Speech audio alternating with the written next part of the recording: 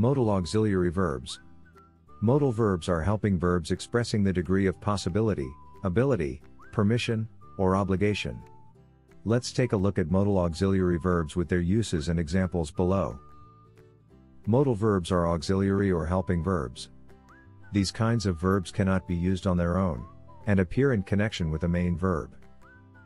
The most common modal verbs are can, could, may, might, shall, should, will, would, must, ought to. Modal verbs affect the main verb they are associated with by expressing the level of possibility, ability, permission, and obligation for that action or state. Modal auxiliary verbs also act differently to other verbs. For example, they never change their form, regardless of whether in the singular or plural persons, or whether expressing the past, present, or future. Thanks so much for watching. We are ITTT, the leading provider for TEFL and TESOL training courses. If you like this video, please subscribe by clicking that button down here and click on any of the videos here on the left for more interesting teaching tips for getting certified to teach English abroad and online.